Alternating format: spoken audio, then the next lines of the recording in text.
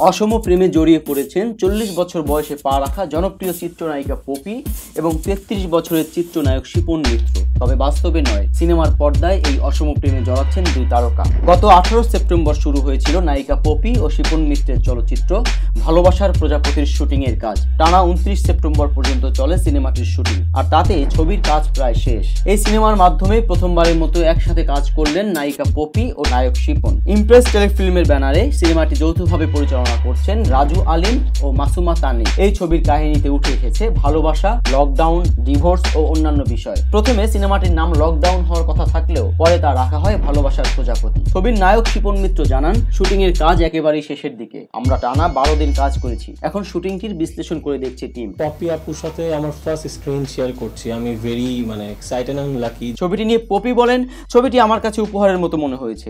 গল্পটি অসাধারণ। এতে আমি অভিনয় করছি একজন চিকিৎসকের চরিত্রে। গল্প ও চরিত্র আমার ভীষণ পছন্দ হয়েছে। আশা করছি দর্শকেরাও অনেক পছন্দ করবেন। কাজ করতে পারেনি বা কি ঝামেলা হয়েছে? এটা নিয়েই সাবজেক্টটা তৈরি হয়েছে।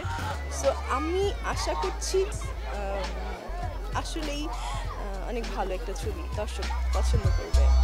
ছবিতে অসম প্রেম থাকবে, তবে সেটা শেষ অবধি না দেখলে বোঝা যাবে না বলে মনে করেন নায়ক শিপন। নায়ক শিপন আরও বলেন, আমারও পপির বয়সের পার্থক্য আছে, ছবির গল্পটিও এমন, তবে এখানে নোংরা কোনো সম্পর্ক নয়, একটি জার্নি দেখানো হবে। ভালোবাসার প্রজাপতি হয়েই দর্শকদের কাছে ধরা দিতে যাচ্ছেন এই দুই জনপ্রিয় তারকা। জানা যায়, ছবিটি প্রেক্ষাগৃহের পাশাপাশি টেলিভিশনেও মুক্তি পাবে।